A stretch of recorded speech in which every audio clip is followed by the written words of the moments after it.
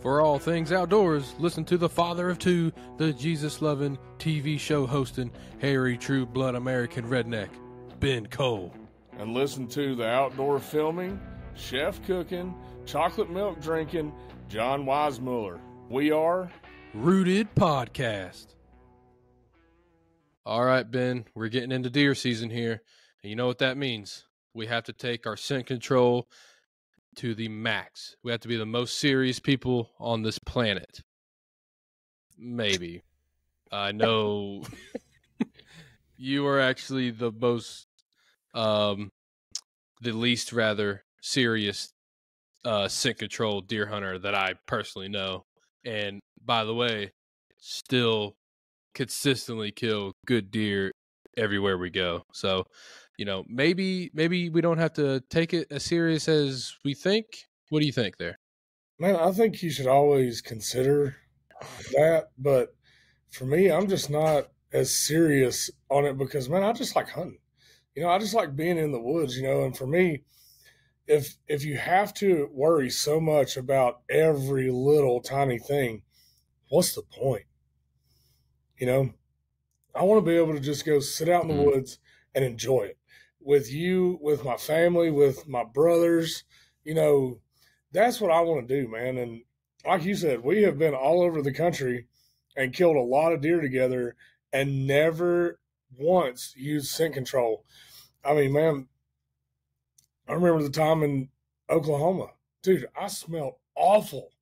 It was so hot on that trip. and the sweat. Oh my goodness. I mean, it just smelled like a high school locker room in that blind, you know? It was terrible. Yeah, yeah. When, listen, you know, whenever you get three bearded rednecks in one hot, confined space, it can get pretty, pretty rauch in there. You know what I'm saying? Yeah, it, it definitely does that. But, you know, um, man, but, you know, we still killed that buck. And that was a really mature deer. He was a six year old buck. Still killed him. But let's look at all the sides. Let's look at all the the avenues, the angles. So, in your mind, what is scent control? So, a few things that can go into this, right? the number one thing that you have to do, and now, you know, I'm more specifically talking about whitetail deer hunting. So, as all of us know, uh, deer have crazy good noses. Their nose is a million times better than mine will ever be. So, keeping that in mind, you always have to play the wind. And what do I mean by that? What what I'm saying is if you have a deer that you know beds, let's just say you have a property and the deer beds in you know the southeastern right part of the property. Okay. If you know you have a stand that's positioned above it and the wind is blowing right right into that area where you know that deer is, maybe not the best idea in the world to sit there that day.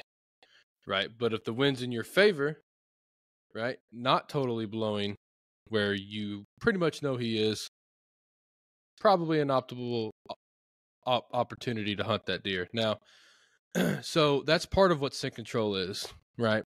Is playing the wind.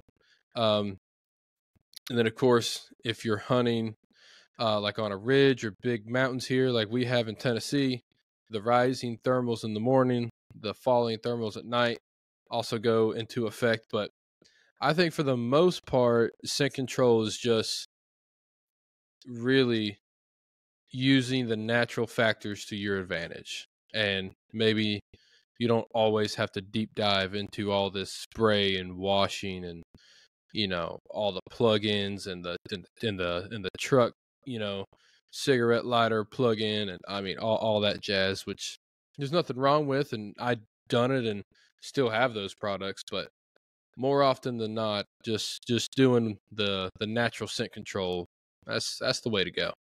So some of the scent control methods that I have seen over the years is, of course, you have the spray bottle, right?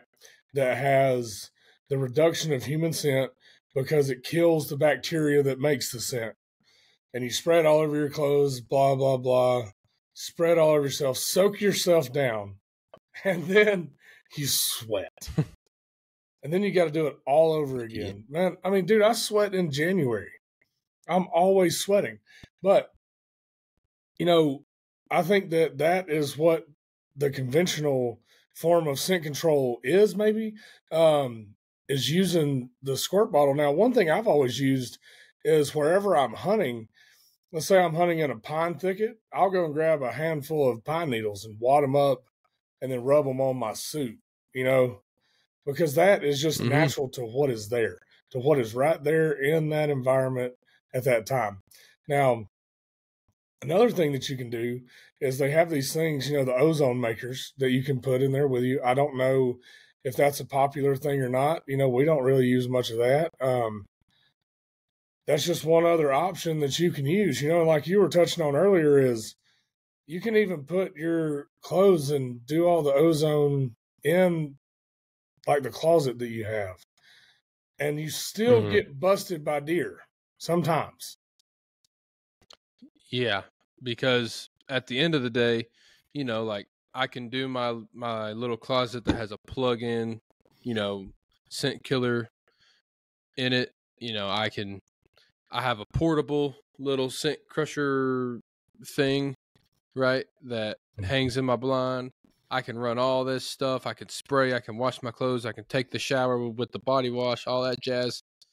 And what I've come to notice is it's not that it doesn't work. I'm not going to say like it is 100% defective because it's not. I've, I've had it hunts where I'm like, man, the wind was kind of blowing at that deer, and that deer had no idea I was there. So, mm-hmm. you know, I'm not saying it doesn't work, but I've also done all that, and the wind is blowing right at this old nanny doe, and she does the old stomping of that front leg when you know it. Uh oh, this better pull the trigger good. immediately. That, yeah, I mean, because she's fixing the blow.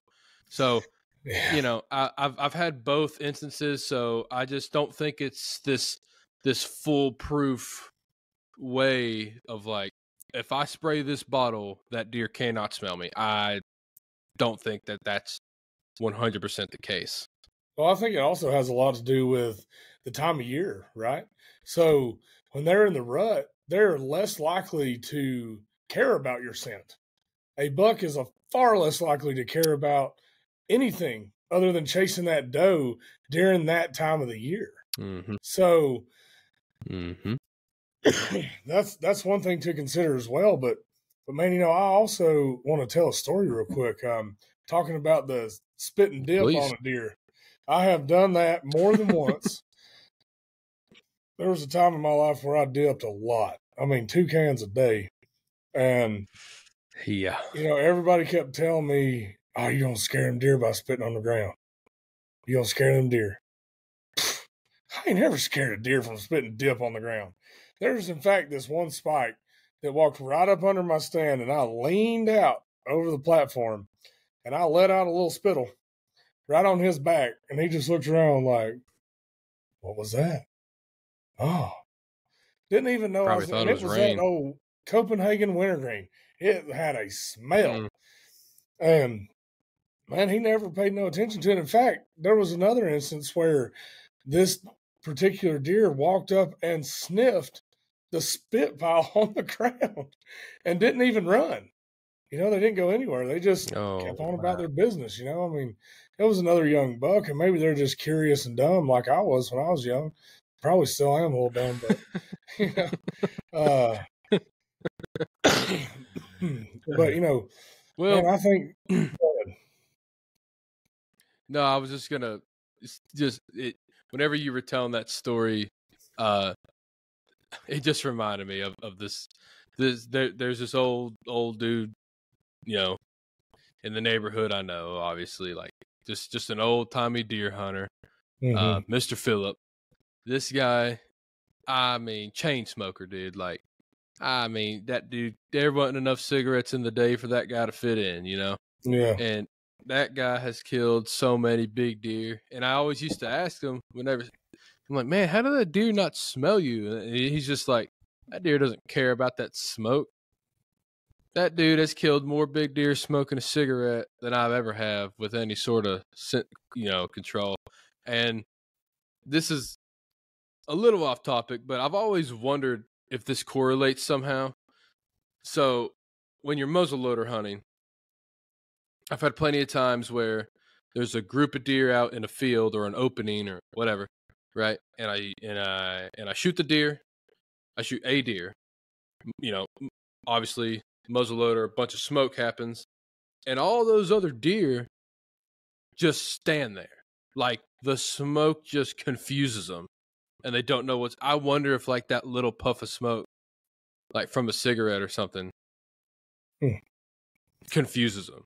Like I, wonder if it's the same. I yeah, I really don't know, and I know that's a little off topic of from the from the scent control, but you know, it just reminded me your your story just reminded me of Mister Phillip and uh, shooting big deer while he's smoking. I'm not I I do not recommend you you smoke cigarettes while you deer hunt or at all, but uh, it worked for Mister Phillips, so yeah, we're not condoning the use of tobacco in the deer yeah, woods. You know, no, you don't have do to. You don't have I'm just to saying or smoke or anything like that. You know, um, it sounds like I've been smoking for 80 years right now. I apologize to everybody listening.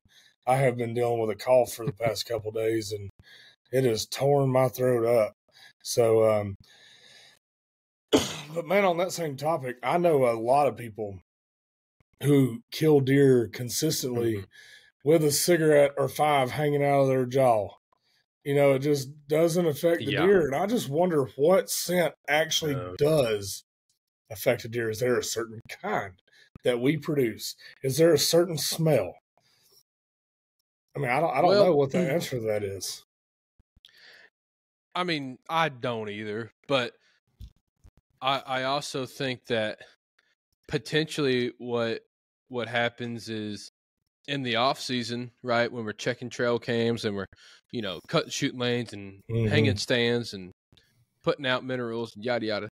Um, maybe we don't take scent control as important as we should, and what I mean by that is, you know, I don't mean spraying down and all this and that, but maybe we go to the gas station and then straight to the woods.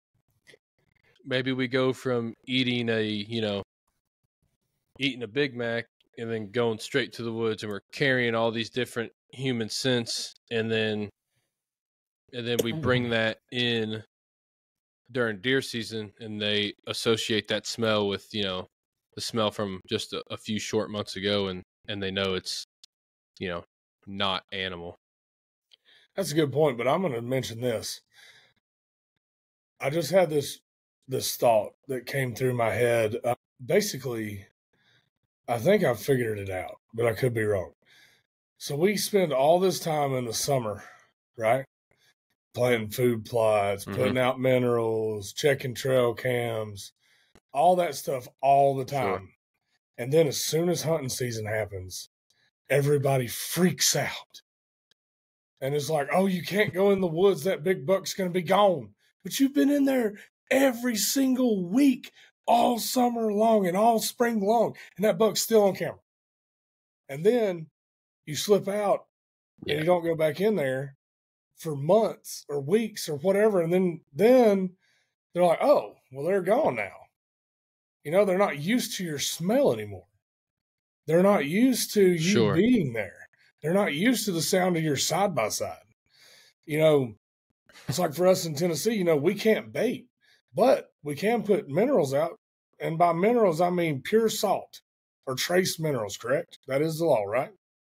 Yeah. Yep. That's right. Yeah. So, what I would do is if you're going to go and boot stomp through the woods, take a little thing of pure white mineral, you know, or salt, just some pure old salt, and go freshen up your mineral sites with just some old salt you know at least at least that is giving you something to for those deer to realize sure. hey when i hear this when i see that this is what is happening that's just my opinion yeah it, that's know? a very uh, good point yeah. I, I just think that if you let them associate because they're not stupid I Uh, mean, they're they're not stupid creatures, man. I mean, they can smell 500 times what we can smell, you know, and they can see a whole lot further than we can see, and and just everything that they can do is a whole lot better than we can.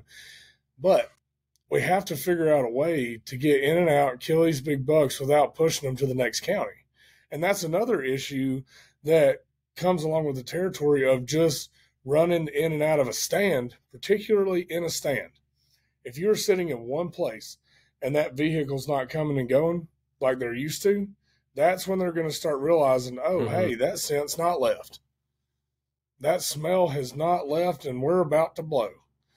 And that's when you crank out that old rifle right out that window. And as soon as that doe stops, ooh, drop her. She goes to blow and she gets dropped. yeah, That's how that works at our farms anyway. Yep. Ain't that right? yeah, exactly right. If she blows, she goes. You know what I'm saying? Straight down. Night night. See you later, pal. Yep. Yeah. Bad. I was gonna let you live, and then you decided to be a dummy. So hate Yeah. that for you. Yeah, he decided to blow, so we had to call it quits. But I will say this: um, Do I think that you can just go willy nilly and you know from from the gas station and smelling like all this crap in into the woods? I I personally think that you know obviously you you you can do that if you want to. I just think that it, it it helps you if you don't. It helps you if you're if you're smart about it, right? Like you don't just put your hunting clothes with you know all your wife's frou frou smelling pods and I mean, Yeah. dude, I've got more laundry stuff now that I live with my fiance, soon to be wife, Oh yeah, that I is ever this have weekend. seen. I didn't even know half this stuff. I, dude, I had no idea that this stuff was even a thing. But yes, yes, uh, This weekend, get married you are getting all right, weekend. everybody. John is getting married this weekend. It's going down. I'm heading up Thursday. We're gonna pheasant hunt on Friday, hang out, do a bunch of bro stuff. Heck, we may even slip in a deer hunt. And don't tell We anybody. just might. though. We just you just never know Yeah. about us two hooligans. You never know what we're gonna get into. But I do know one thing: we are gonna get you married, and we are gonna do it in the presence of the good Lord.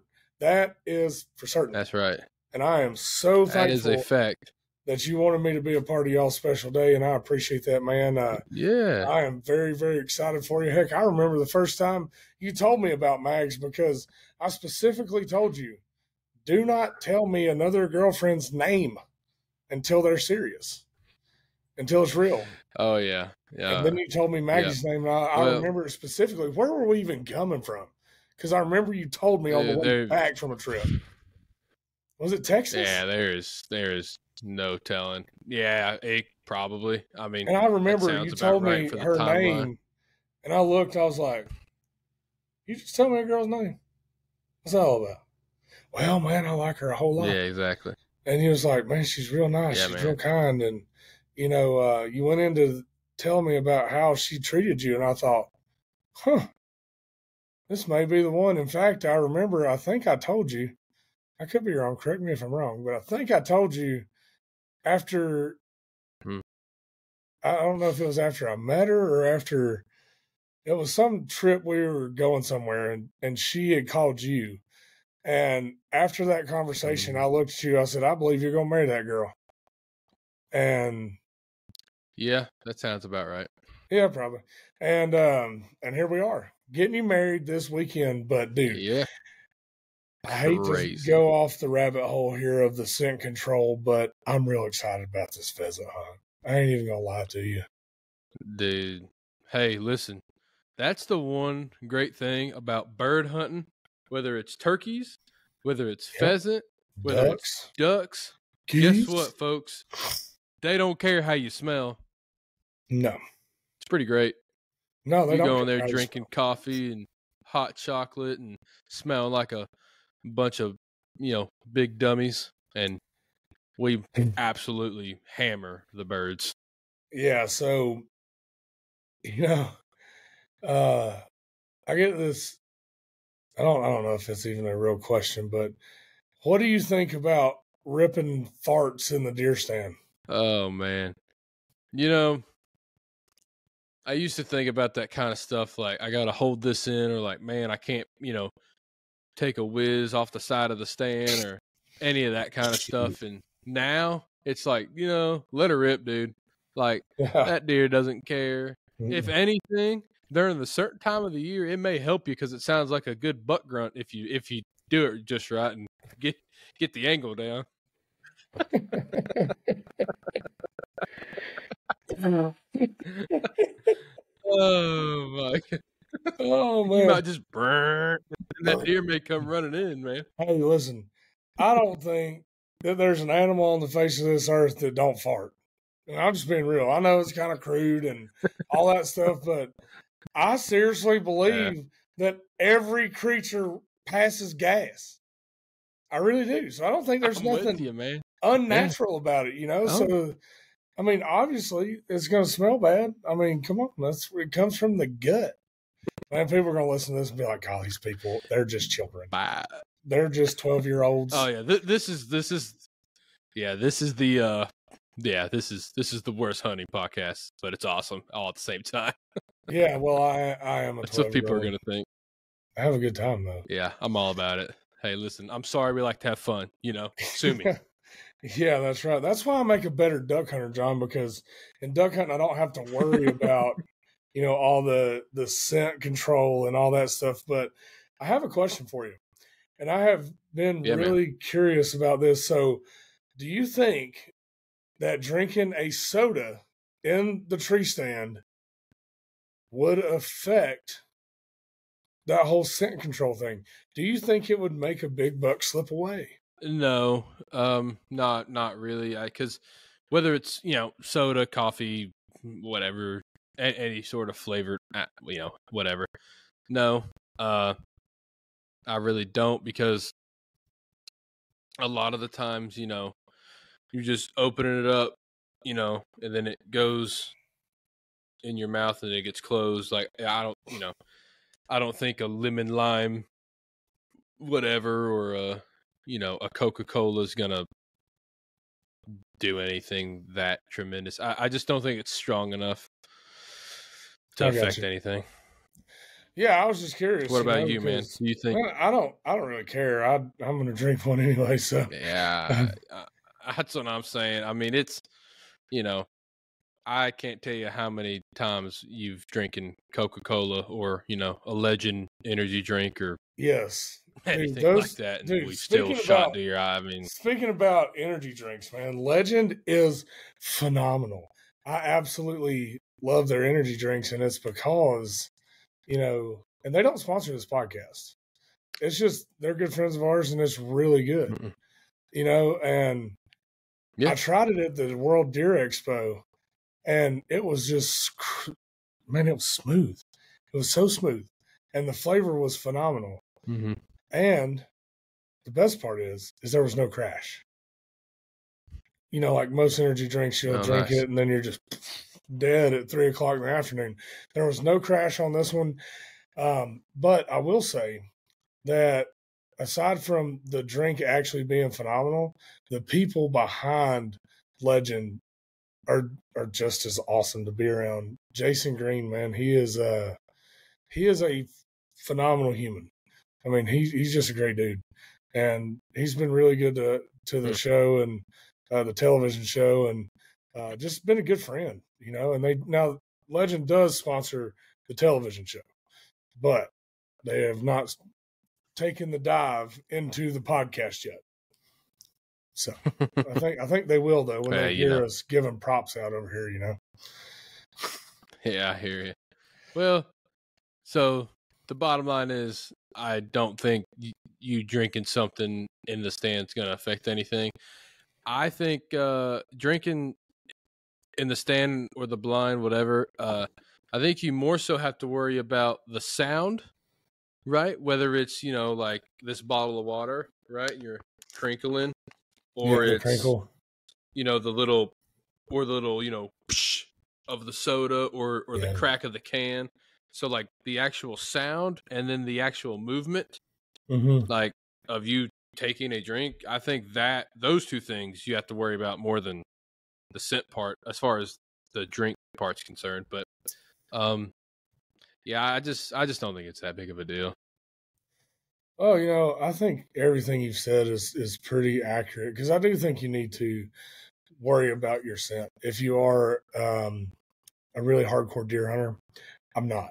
I'm just not a hardcore deer hunter. So don't take my advice and hunt like I hunt because I just I'm not your conventional deer hunter, man. I'm not uh, one of those dudes that Mm-mm. You know go out and I don't buy the ScentLok or whatever it is that keeps your scent from. Man, I don't even really know a whole lot about it other than the fact that I have killed a whole lot of deer in a pair of loafers with tassels on them, smelling like work. I have. Yeah. I've killed a pile of deer. I mean, a pile of them in a red flannel. Hmm. Yeah. Well, you know, uh Fred I think Fred Bear put it best, uh and I'm paraphrasing here, but he essentially just said, you know, sit down and and and sh- and you know, hush. That's the uh that's the best form of camouflage and I promise you Fred Bear wasn't wasn't spraying down with and washing his clothes and all this scent control stuff. I promise you he was not doing that. So, No. you know, and neither were all the Indians and you know all that kind of jazz. So And hey, the Native Americans I just uh, they're phenomenal hunters. yeah And that's how they lived. uh yeah That's their food source, you know? yeah they were they they were pretty decent at it I would say. Yeah. That I'd whole say- hunting I, thing. I would say they were pretty solid at it. And then, you know, the old Americans, what we are now, came in and they done killed all the buffalo and really ruined it for everybody for a long time. So, yeah, maybe scent control is good. Maybe, Yeah, well, maybe yeah. everybody just don't wear scent control. So that way they can smell you and they have a better chance of living until gun season. And then it's Yeah. over. And then it's all over. That's right. Yeah because so you know man the uh thing thing for me is like i you know i wouldn't take it not serious you know for me like i do like to you know wash my clothes in it i do like to you know not just be be a fool and you know get gas on my boots and all that kind of jazz but you know i'm not super serious hardcore with it either. So I think there's a healthy balance there and uh I think it all starts with using the natural elements first, the wind direction, the thermals, your setup, uh and then you know, you can dive into this scent control products world. Um I will say the hardest thing for me as far as scent control goes uh was we were started to touch on this earlier was uh teaching my soon to be wife about how I did not want all her fancy little scent beads and Mhm. frou frou softeners and all that stuff on my uh on my hunting material. I had to explain to her that there is now this new thing in the pantry called, you know, scent control laundry detergent and it's here to stay. Yes. yeah, dude, you got to do the scent control laundry her know. detergent and or use the fresh earth. You know, so you can smell like fresh plowed dirt. Yeah, exactly. Because I mean, there's nothing wrong with those little, those little like scent wafer things. You know what I'm Mhm. talking about? That you like hang on a limb Yeah. or something that smell literally like dirt. I mean, we uh actually have friends. We've talked about him earlier. Uh, Sean Templeton. He, Mhm. the barber who got us together. He has products that literally smell like earth. I Yeah. mean, so my my point being is like you know you you can just literally literally when before you climb your tree pick up leaves and dirt and just go you know rub it on you and be like all right cool and climb up. I mean, So you one know, thing about Sean, it's just a cover scent more than anything. yeah. So one thing about Sean that I will say, um, he has a really good idea. So his scent spray that he makes actually sticks to you, and it doesn't just go away after ten minutes or whatever. Because man, I am a huge fan of the earth scent or cedar or whatever I'm hunting close to that day. But earth scent, man, I Right. love smelling like fresh plowed soil. Love it. And his stuff, man, it really it really sticks to you. I don't know what his formulation is. I don't know what um, he's got going on with that, but I'm telling you, it absolutely hangs out and hangs around for a long time. Yeah, and he's got all sorts of uh, beard oils too for for the men out there. I mean, he's he's got all sorts of stuff that just he's taken care of my beard works. more than once. In fact, he is the only human that I will let shave the sides of my beard, straighten it up. That is that is it. Other than that, Yeah. nobody touches my hair or my beard. It's like Samson. I can't let Delilah get a hold of that hair. it's bad news if someone Yeah. gets a hold of that of those locks. Dude, the hair's got to stay. It's got to stay for him. Yeah, oh yeah, for sure, man, absolutely. But I mean- nonetheless, um, I think what Yeah. our point is here is that you need to just get out and hunt. Don't be so worried about what everybody Yeah. else is saying. You know, formulate your own opinions. Trial and error. That's what we've done is trial and error. We figured out what works for us as a team and we roll with it. We just stick with it because Mhm. not every person is going to have the same experience as the next guy. You're always going to have to find your own little section, your own little routine and technique that works best for you and what you're trying to hunt. Like for me and ducks, I don't give a crap about scent control. I'm cooking bacon and eggs in the blind. But deer, you can't do that. You know, and I'm over there like in the kitchen in the morning at deer camp, like, oh, hey guys, look, I got a biscuit. Everybody's like, you're going to hunt like that? I was like, yeah, I plan on it. You know, I mean, Yeah, th- That was kind of my- that's the idea. yeah, but you know, I, I don't know, man. I, I think you have to formulate your own opinion. I think you have to figure out what works best in your situation, especially with the wind and the thermals. I think playing the wind and the thermals is going to be your best friend. I don't mm-hmm. care how much you spray down. I don't care how much you wash your clothes. If you don't work the wind and the thermals right, you're going to get busted every single time. Every time. Yeah, it's you know, it's definitely just more in your favor if you just work with nature and not against it. Yeah, of course, man. And I think so. Here's a tip for all these young hunters out there do the research and figure out what is the predominant wind on the farm that you're hunting, whether that be public land or what. Just figure out the predominant wind Mm-hmm. from September through the end of January. Figure out what that is and set your tree stand up accordingly to that historical data. Now, is it going to blow that way every day? No. Let's be realistic. It's not going to because you're going to have a hard north wind. It's going to get cold, and then a south wind's going to blow it right out of there. You know, four days later. So what I'm getting at is, if you know the history and know that predominant wind, you can at least hedge your bet on being accurate most of the time, and you can hunt more and maybe have a different Yeah. set, a different location that is in the same area just across the field for maybe a north wind versus a south wind or east west whatever whatever that predominant wind is i think that's what you have to really focus on is that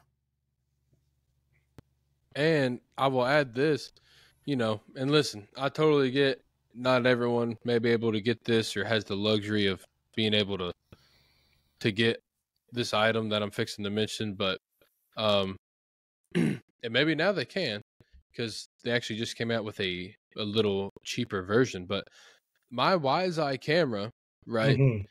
whenever it takes a picture of a deer, gives me the wind and a bunch of other awesome data that I can use, and you know puts it into a graph. But I I, I can go on my on my hunt control app, right? Pick Mhm. my wise whatever wise eye camera that's on there, and literally it I can make it give me a graph based on wind direction, Right. and then you have all this data that says you know, hey, on a southeast wind, you have your most pictures of this buck or whatever, and then there you go. You know that on a southeast wind that this deer comes in this direction. I need to set up this direction, and boom, you're You ready know, to rock think, and roll. I think that I think that's a really good point that you bring up because um, you know you can also tag the buck that you're chasing. Um, you can name name all of them hmm on the Wise Eye system, and buddy, we have had those Wise Eyes out all over the country for years. How many years has that one been in Oklahoma? Four, three, four years Yeah. now, and we haven't touched it. Yeah, three, I think.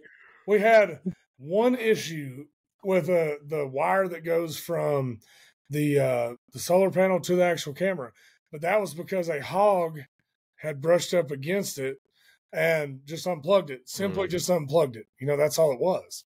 And other than that, we have not had a single issue out of any of the cameras that have been out for several years now. And one thing that I really like is it uses the weather data of the specific location of that camera. It's not your local weather, Mhm. your national weather. It's not any of that stuff, your county. It's the exact location of that camera. It's where all the data is pulled Yeah. together and made into charts for you. So like us, you know, I know some people are like, "Oh, well that's cheating. That's that's not good." But you know what? I don't care. I can't physically go Nope. hunt and scout all the acres that that we can hunt in a year's time. There's just no way. And for us to be able to produce this podcast, produce a TV show, do all that stuff, we have to have the very best tools in our arsenal. And guess what? Wise Eye is at the top of that list because it is, in my Mhm. opinion, the best trail cameras on the market because they simply work. First and foremost, I mean, leaving out everything else, they just work. Simply work, and it's phenomenal. Yeah, yeah, and it and it really does help you with with scent control because there are other cameras that you know you may get a picture of a deer every every two days of this one specific buck, but it just tells you like you know the temperature and maybe the moon phase if you're lucky, which those things are important as well. I'm not Mhm. discounting those, but on the topic of scent control, it's like, well, why why is he coming on this day and not the other two days? Well, it may be because the wind's different, Yeah, it very Maybe. well could be and dude, you know that's a you know, because that six good. point that I was telling you about, he hasn't come back Uh-huh. except for at night, and he only shows up on a northwest wind. That's the only time that deer comes in is northwest wind, and we haven't had one yeah, man. since three, four nights ago, and he hadn't been there. He just dipped out. Mhm. So if that don't tell you something, and that's just it, you know. Oh, I- I'm I'm with you because there's and listen, I've been there as the weekend warrior. Where listen, dude, you're a hardworking guy or gal, and you know, m- you know, Mimi and Papa are willing to watch the kids for this three hour block window, and I got to hunt, and I I get that. You got to go. You don't care what the wind is. That's awesome. But if you have the ability to really be disciplined and not hunt that stand because the wind's not right, in the long run, that's gonna help you tremendously. If you can Yes. just be disciplined and, and, and know like and and if you're fortunate enough to have different stands and you know different farms and all that There you go. That yawning. I'm really gonna be help. yawning now. Good night. I'm telling you man no whoops Whoopsie. Um, but no, man, I agree with you 100. percent But you know, one thing you can do also is you can do temporary sets. You know, like there's the Yeah. You know, you can throw up a, a set of ladder sticks real quick and shimmy up and hang a tree stand real fast. I mean, it's not not Yeah, and uncommon. that's the to, great part of like a, a, yeah like like a climbing stand or like Yeah. a saddle that you're getting into this year Yeah. it's not like it's that difficult i mean Mm. No, man, you can have a saddle set up and functional within 10 minutes. I mean, Yeah. it's not a hard deal. You Ready go in midday, throw it up, done. Or with the saddle, you can just walk up to a tree and be like, oh, that looks like a good tree. Cool story. And then you just start climbing. Put your sticks on there, start climbing your way up, set your platform, and you're ready to go. It's just that easy.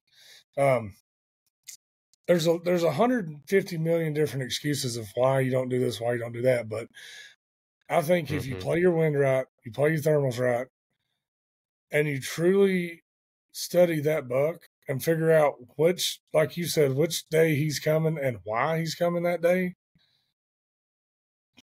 Typically speaking, a mature buck is always going to come with the wind in his face. So he can smell everything. Yeah. He is going Yep. to show up that way. So the best thing to do is to figure out how you can intersect his trail before he gets to your scent. That is how you do that. Yeah. You have to intersect him before he gets to you and your smell. And sometimes that can be pretty dang hard, as it's been proven here for the past three weeks now, trying to kill this whole six Yeah. point that I have deemed pirate. Uh, he he definitely whiffed me that first day, boy. He went to or something went to blowing. I'm sure it was old Odo. I thought you just step on out here. It'll be not good. Yeah. That's it. Yeah, man. Well, and I'll tell you this. Um, another thing that we we do is uh hunt out of blinds a lot. Mhm. Whether it's a you know a cheap pop up or it's a very nice you know nice like box blind or a homemade one that I have. Right, whatever it is, it's like man having having four walls and some windows that can help you out a lot by keeping your scent in there and also just not letting a lot of it out. Yeah, I mean, obviously you're gonna have some that still creeps out just a little bit, right? Yeah, But- it's not foolproof. No, but it's going to really reduce the amount of scent that's just willy nilly everywhere. You know, um, Mm-hmm. I mean, I think you should take the steps and try. But I, like I said, I'm gonna drive this point home. You have to worry about your wind and your thermals. That's that's just it in a nutshell. You can spray down all you want to, but as soon as that sun hits you, you're gonna start sweating.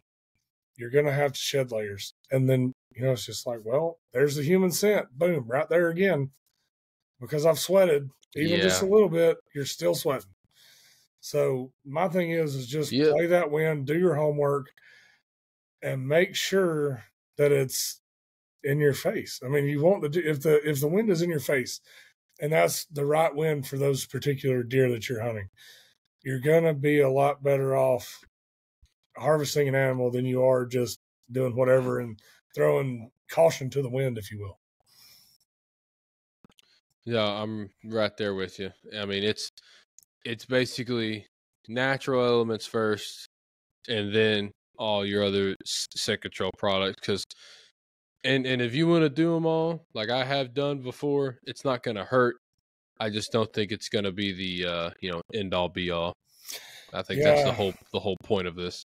Yeah, I mean, I, I agree with that, man. I don't think any form of scent control is the end all be all. But with that being said, I'd say uh, we appreciate y'all listening in, tuning in to this episode of the Rooted Podcast with your boys, John Weismuller and yours truly, No Harry Redneck. Thank y'all for listening. We'll see you next time. All right, guys, make sure you uh check in all all the rooted television, like, share, subscribe, all that fun stuff. Thanks for listening.